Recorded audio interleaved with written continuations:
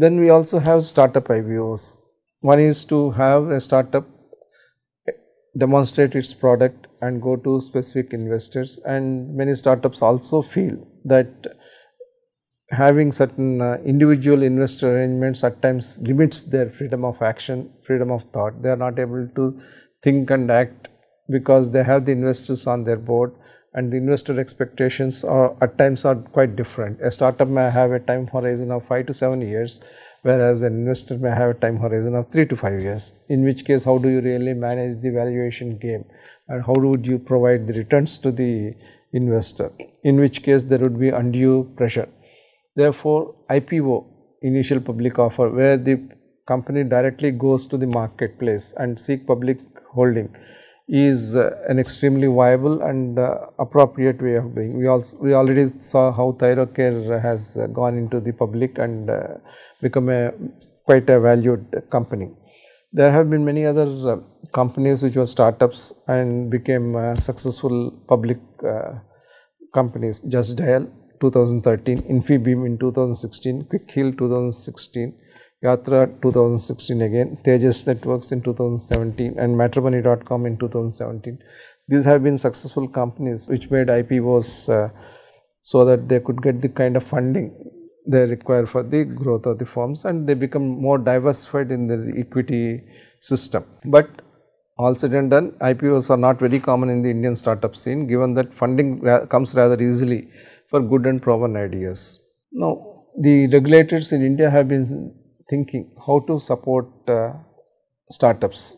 Public listing on stock exchanges certainly provides certain advantages. One, it builds brand image with all the stakeholders including investors, customers, employees, public and governments. Then provides measurable value to company's performance potential because once you are listed on the public stock exchanges, you got certain corporate governance methodologies which you need to adopt and it adds transparency and value to the employee stock option schemes because although the startups provide a lot of uh, employee stock option schemes, they can only be cashed when the valuation happens or when the exits happen or at predetermined buyback situation. But on the other hand, if a company is listed publicly, the company would be in a position to provide value to the stock options more readily then a public offering always reduces the dependence on debt by bringing in more risk capital. However, to be listed successfully, a startup requires very good corporate governance and regulatory compliance.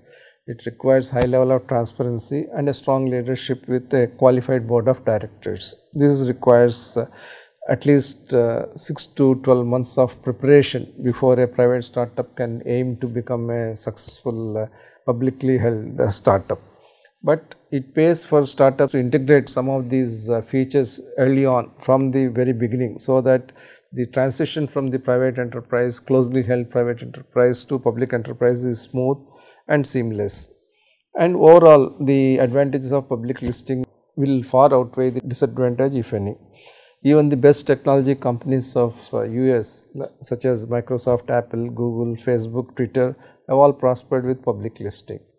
But at the same time, we also have seen very recent times that uh, public listing has its risks if a company is not well managed or if this uh, whole business model is based more on a bubbly valuation than on uh, actual execution. We have seen that example also in recent times. Therefore, it is important that IPOs must be considered as one of the very viable ways of uh, providing uh, startup financing. So, we have seen the first steps. We have a platform called Emerge platform. It is an integrated institutional trading platform for startups and small and medium enterprises which do not have their securities listed on any recognized stock exchange and which seek listing of their specified securities exclusively on the said platform for informed investors. It is the credible platform because it is supported by National Stock Exchange and it can be done with or without IPO. Given that we have 20,000 startups as we have seen, I, I would think that there is significant potential to help this uh, I, I, ITP platform gain more currency for these startups to accept. As uh, we have many angel and venture capital uh, people wanting to support uh, startups, having this platform enables them to look at these uh, ventures in a more cohesive and more uh, time bound manner. And also it helps the investors move out after the investments mature. So, it is a kind of uh, from a negotiated settlement stage, you move to a publicly benchmarked uh, exit stage, which is good for the startup supporters as well as for the investors. Then we have another way of funding the startups, which is crowdfunding. Crowdfunding is not uh, legal in India as far as the startups or any other company is required, but it is legal in certain countries. There are uh, startup crowdfunding companies like uh, MicroVentures, we have got AngelList, CircleUp, Grow VC. It brings the power of masses in full even to the smallest uh, startup venture. And the advantage is that even launch can be done through crowdfunding of uh, startups. And in a way, it is democratization of startup movement. It helps startups move from relation based a focus based working to get finances to a democratized way of uh, getting finances from a wide spectrum of people. They also help in uh, marketing of the products which are developed by the startups. So, as we have seen in India as well as elsewhere, startups could succeed with investments ranging from a few thousands of rupees to a few lakh of rupees. So, crowdfunding is an ideal uh, situation for meeting small startups requirements for small scales of funds. Whereas many times startups say when they knock at the doors, people will say that this is not my ticket size, this is not my ticket size. Why don't you develop your product with your own savings and come to me after a particular ticket size of uh, fundraising is required. But when you look at crowdfunding, none of such restrictions will matter. It is quite possible that even small uh, fundraising can be achieved and you can therefore have successive rounds of crowdfunding and uh, titrate yourself to your uh, growth phase. In US we have got the Jobs Act which provides crowdfunding up to US dollar 1 million which can be raised by startups. I would suggest that we should look at something similar in nature for India as well as and with lot of uh, uh, industry executives, uh, retired personnel wanting to participate in the startup systems, but with a defined uh, platform this could be another way to increase funding support to startups. Then how do you do ideas as bankable propositions? So when we have scientists, when we have got professors, when we have got uh, technicians who have brilliant ideas, but which are not related to their uh, nature of business and which cannot be supported, these ideas remain as ideas. However, when they decide along with their companies that I should be able to convert these ideas into action is a kind of idea banking. Ideas themselves will be the currency which can be used for starting uh, new startups. In the Western university system, we have got university professors using their ideas, their laboratory products, their laboratory ideas into successful startups, sharing the revenues with the universities it is quite possible for us also to replicate this methodology by which graduates of premier institutions as well as professors of leading institutes are uh, sharing their ideas with the startup ecosystem or themselves setting up uh, their own startups so that the ideas are not left in cold freeze. They are banked to startup uh, success. This requires that corporations also participate in this. They can support these kinds of ventures by academicians and uh, creative students. They can also help the executives within their own companies move into this space. For example, in today's automobile uh, movement towards electric vehicles, it is quite uh, possible for battery maker to energize their own stuff to set up uh, their idea banks and select those ideas which can be moved into the startup stage. So, internal startup idea bank generation and then conversion of those ideas into successful startups is quite possible with corporate support. So, universities, professors, creative students, progressive corporations, they can always uh, and at all times uh, make ideas as a pool of currency for generating new startups. So, we have considered uh, so far several ways of uh, doing uh, startup investments. But basically there are three types of uh, instruments by which this finance comes. One comes through equity, second comes through convertible debt and third comes through venture debt. When a founder believes that the project has proved itself, the founder may issue direct equity because at that point of time the valuation can be high and the dilution the founder experiences is low.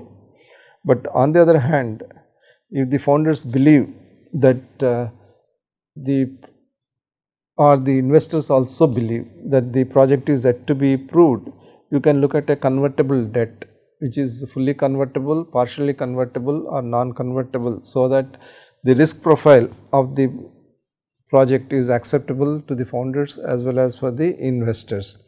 And in some cases we can add venture debt which is having a coupon rate. So, this is the same as that.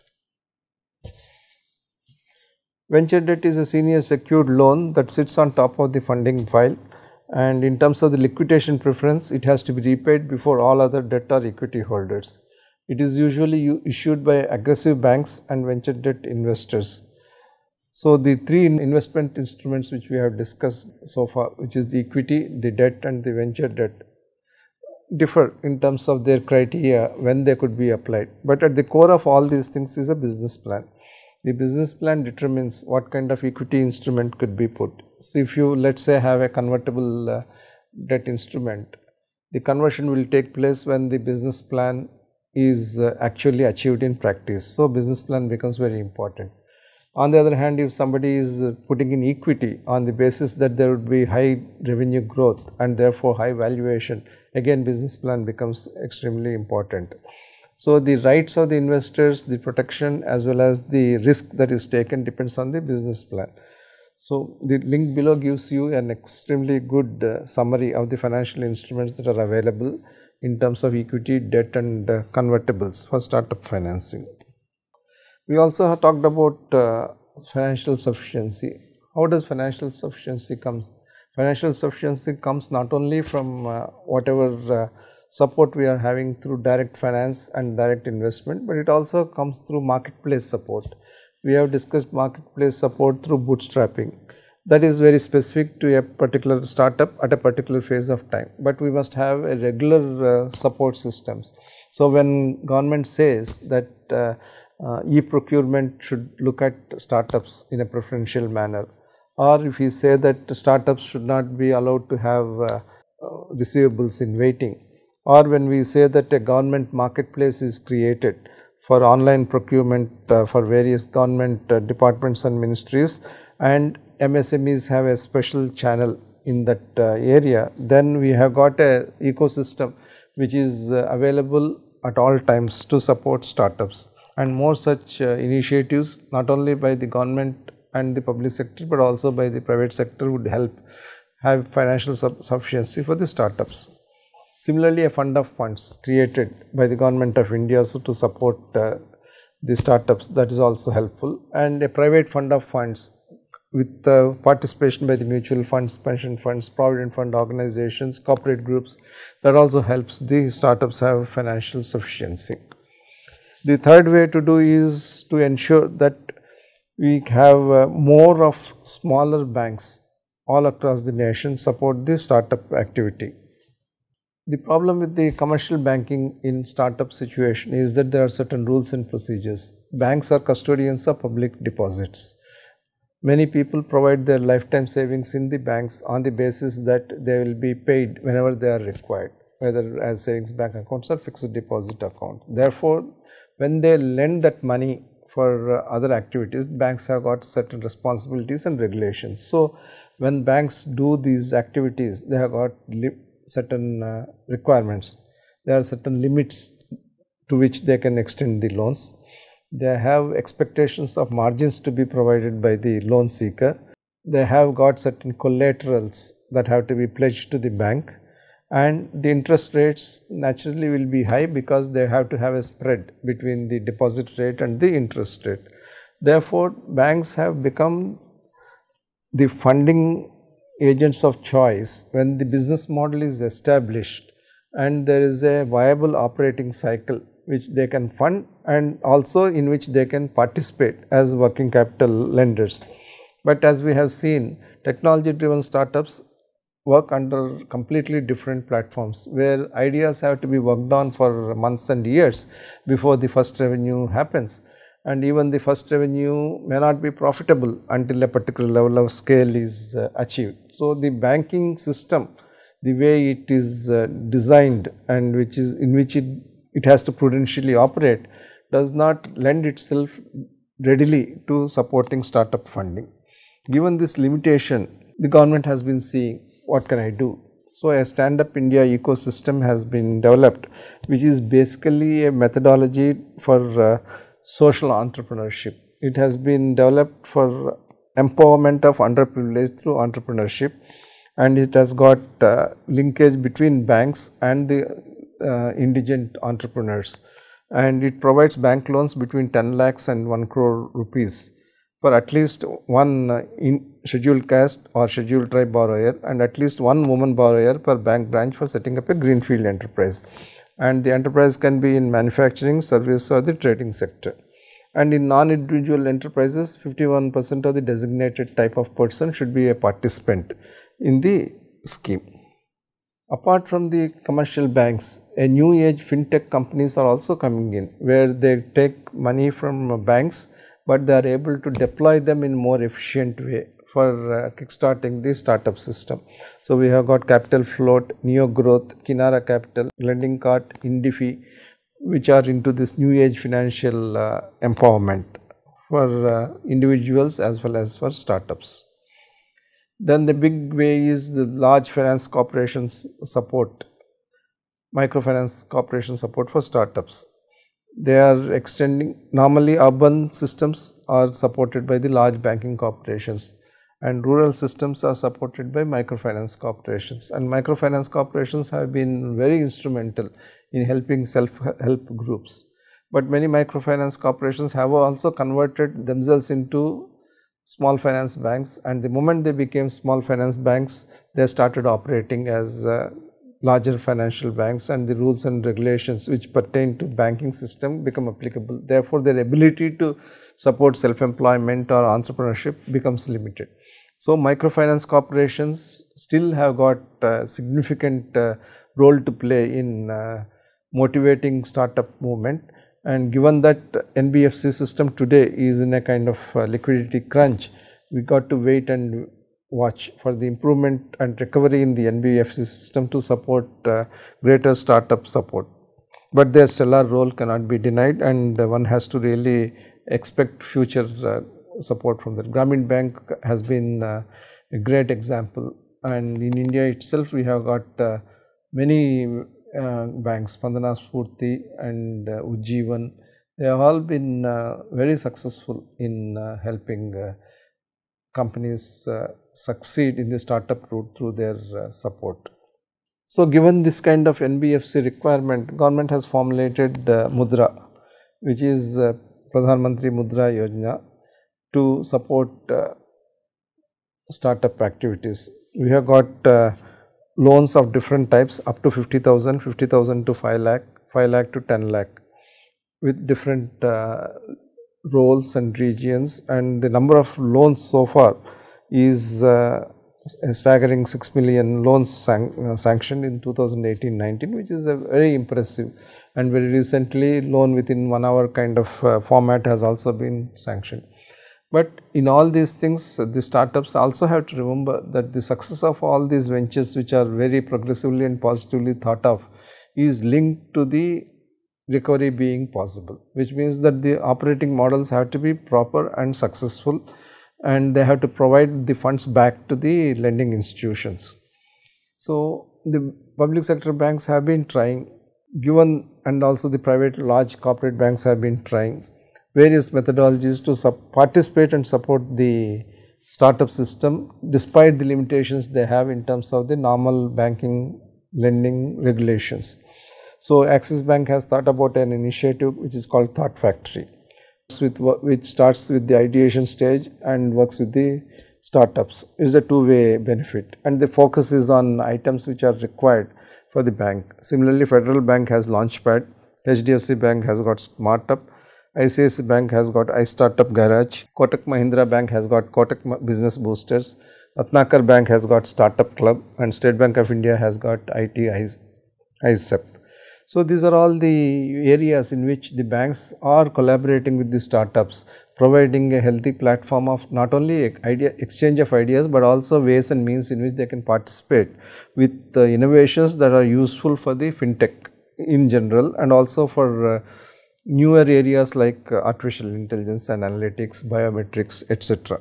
So, we have considered various aspects of uh, financing and the canvas is uh, very vast and it is indeed very difficult to trace them in a very sequential manner.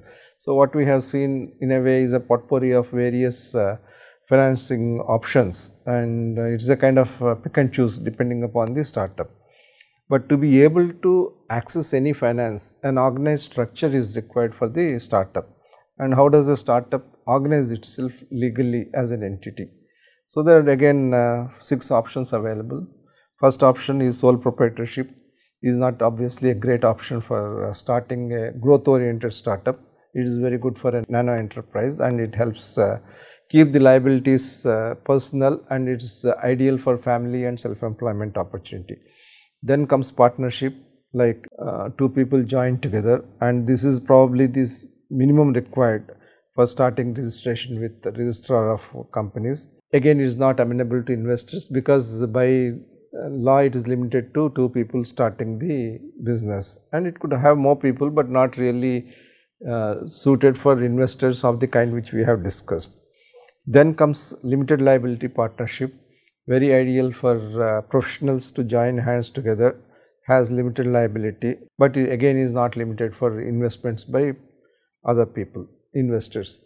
So, if you are in the startup game and you want to scale yourself up it is very important to look at forms of company formation which can take investor interest inside which is private limited company, a one person company or a public limited company.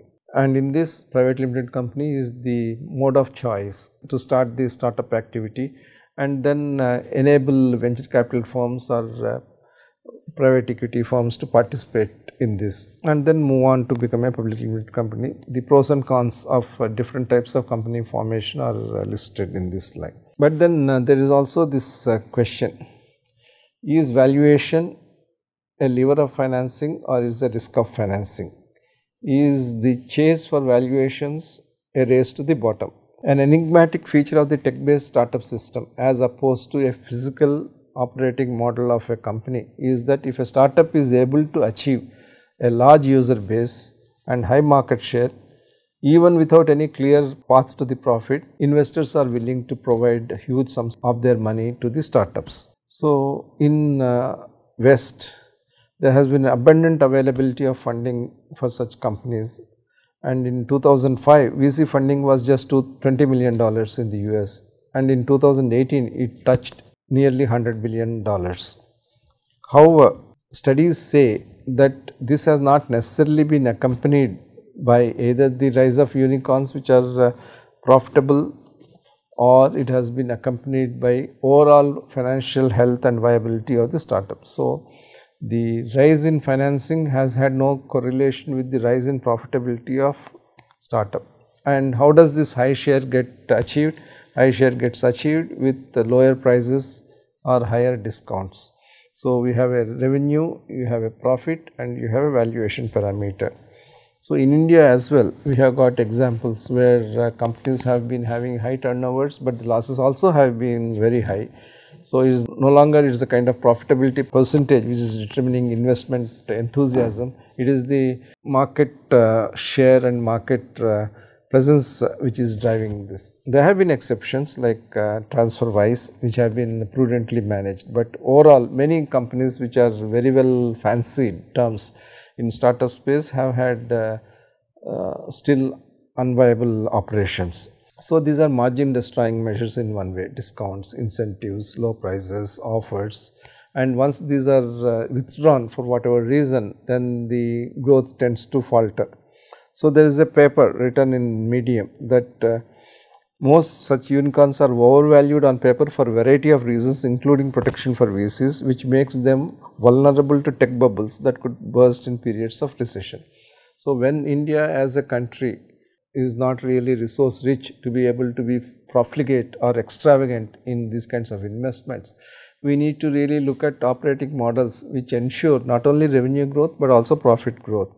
So, the more the startups pursue business models that have prudent balance of revenues and profits, the better will be our startup ecosystem and better will be our uh, ability to attract funds indigenously as well as exogenously. So, there are obviously pros and cons of uh, pursuing growth versus pursuing uh, profit. So, this graphic tells us what are the upsides of maximizing growth, what are the downsides of maximizing growth. Similarly, what are the upsides of maximizing profit versus the downsides of maximizing. So, when you maximize the growth, you become more attractive to the investors. We, we raise capital when it is available and uh, it does have benefits of monopoly. On the downside, if such growth is dependent on uh, uh, just uh, discounts, then we become vulnerable. Similarly, the dependence on equity that comes with high growth, therefore high equity led uh, growth means that the startup is vulnerable for external dependence and it has got its own uh, short term implications. The advantages of maximizing profit, the startup becomes very attractive for acquisition particularly by mainstream firms. Profitable firms have better IPOs and founders can retain more uh, equity. On the other hand, if we are so obsessed with profit, then we may end up being only niche player. We will not be able to uh, grow and attract capital in a VC system which is unfortunately or fortunately growth obsessed. And if profits are achieved through cost cutting, probably that may not also be the best way to grow a business. Therefore, we require a balanced business strategy and a balanced business model that optimizes the growth profit equation based on the startup context. That is also very important. So, finally, we need to look at uh, financing as part of overall business strategy. We should look at scalability, we should return, we should look at sustainability. So, we should pursue scale when we are the first entrant, when the entry barriers are low when the need is to preempt competition and when the VC system is growth driven. So, if anybody can enter the market, it is important that we capture the marketplace very quickly. So, therefore, growth is important. Therefore, it makes sense if you are low priced, low margin uh, player, but have a high market share. But on the other hand, if your scale is price driven, you should start pursuing profit.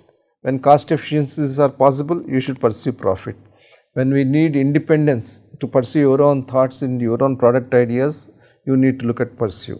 And when the VC system is discerning and differentiated to understand what is a discount led growth versus what is profit led growth, you should pursue profit. And obviously, you should pursue a combination of both when you have got certain core competencies which are solid, like your product is IP protected, your entry barriers are muted, when you are desirous of long term play, and when your VC system is cautious, then we should uh, look at uh, scalability along with sustainability. So, these are the two sides of virtual uh, growth paradigm. Ideally, innovation needs to be funded by business growth valuations because if your innovation is of that kind of disruptive innovation, eventually business will be valued highly. Therefore, it should be funded by equity risk capital.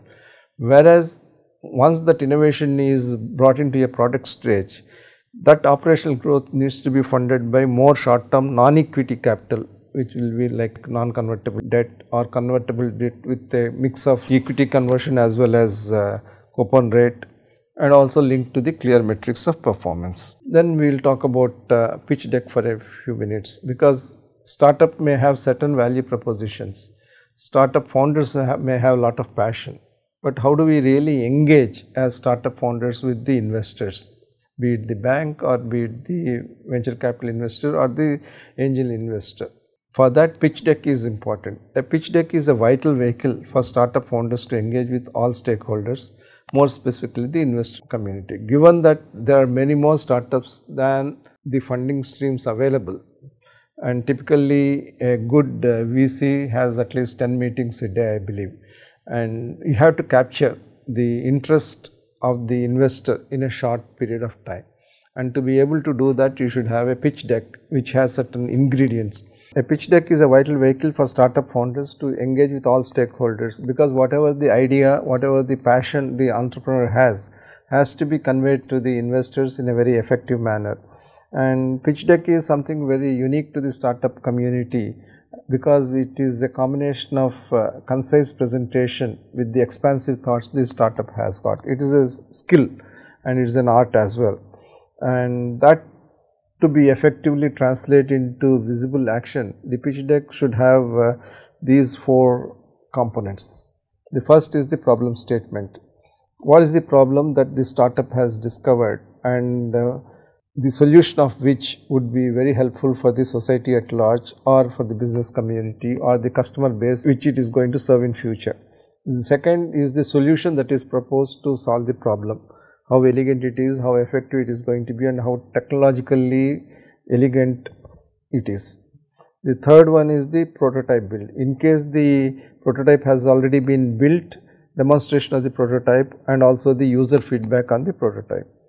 And the investor will also be keen to know the kind of business model that has been uh, adopted by the company, whether it is a uh, operations driven business model, customer driven business model, what kind of uh, price mechanisms are being adopted, what are the kinds of uh, business to business relationships or business to consumer relationships that are being thought about as the business model. Now, what is the intellectual property that is underpinning this entire uh, idea and what is the team and what is the execution model. A pitch deck must interest, engage and inspire the stakeholders into positive commitment with the founders and they should stay engaged with the founders number one. Number two, if the pitch deck is narrated by the founders with passion, there is uh, even greater chance of the engagement reaching higher levels and the value proposition becoming inspirational not only the, to the founders as it has always been, but also to the investors. So, pitch deck is an extremely important uh, constituent of the whole investment proposition. There are basically three types of pitch decks. One is the pre-meeting pitch deck, second is an in-meeting pitch deck and third is a post-meeting pitch deck.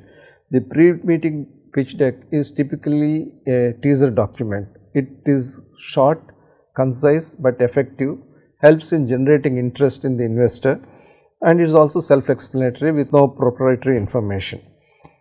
An in-meeting teaser is a sufficiently detailed document. It will have all the 8 components which I have discussed in the previous uh, slide and it is always accompanied by in-person in narration. It contains all the critical information and leads to serious investment dialogue. And when the meeting concludes, there would obviously be certain questions and certain issues that are raised and certain propositions from both sides. Typically, in-meeting uh, pitch deck is followed upon by a post-meeting uh, pitch deck. It is a closure deck it, that addresses all the concerns, all the issues discussed reaffirms the business strategy and the execution model and it is very specific on the desired investment needs. So, these three pitch decks are an integral part of the investment transaction that uh, is targeted and the startup should have the necessary skills and capability to create the pitch decks and also narrate them when it is required to be narrated. I would also conclude this uh, session saying that while finance is an extremely important aspect of startup journey and while finance is a constraint for the indigent uh, startup founders, but finance also is not a constraint to become an entrepreneur.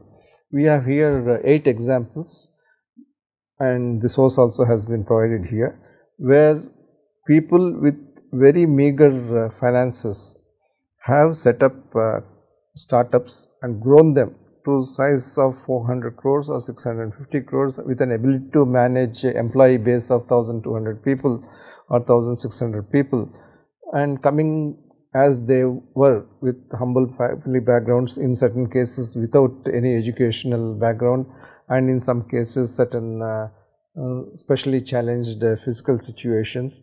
And in diverse in industrial settings one was successful in confectionery, one was successful in uh, moving goods from one location to other, another has been successful in making ready to eat foods, another has been successful in uh, converting palm leaves into disposable items, one was a consultant, another was a milk, uh, dairy products manufacturer and one took a very native dish such as vada pav to a national level. So, it is possible for starting with low finance at times as low as 11,000 rupees and start a business and can make it grow to a big scale. But why does this happen? How does this happen? It happens because such startup founders of course had passion, they had diligence, they had the capability, but they also deployed self-financing business models with innovation and execution. So, when you look at Asha Confectionery, the turning point was when it moved from small business to automated production. When we look at Agarwal Packers and Movers, the core success factor was 100% safety guaranteed to the customers. So, significant customer orientation and choice of the team and choice of the vehicles for movement. When we look at ID Fresh Food, which is specialist in uh, batters for uh, South Indian dishes and also for uh, North Indian wheat based product, technology to make food ingredients without the preservatives that has been a winning proposition. So, that has helped the company. When we look at WOMO category creation in unique snacks, Volant Industries despite the physical handicap, fearlessness in turning around sick paper units has been the core. Similarly, Singhi advisors, personalized investment advice, personalized deal making, M&A support. Milky Mist coming from a farmer's son background using that core capability from sell, selling milk to creating milk products and distributing nationally that has created a brand. Jumbo King Foods taking native vada pav to global scale with the appropriated automated uh, production and uh, delivery. So, business models despite the low finance have helped in generating sufficient finance for the startups to grow. So, it is a combination of innovation and execution that has enabled startups to grow.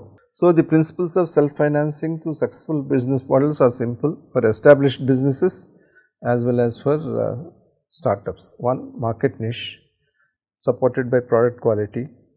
Third, good distribution efficiency, appropriate client identification, very strong working capital efficiency, dedicated and well trained employee team, personal leadership.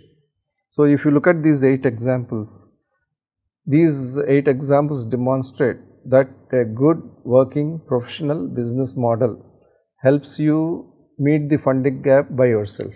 You can operate a business model that generates profits. So, while we pursue exotic and very required startup tech based models, we also must simultaneously see how we can have operational models which emphasize all of these features so that the business by itself can generate finance, reduce dependence on external funding, provide more value in the hands of founders for longer period of time and then ensure that the startup ecosystem is much more uh, enterprising, much more viable and much more uh, self-supporting.